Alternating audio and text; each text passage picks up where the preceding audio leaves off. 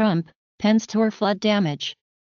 Donald Trump and his running mate, Indiana Governor Mike Pence, will travel to Baton Rouge, Louisiana, on Friday to tour flood damage.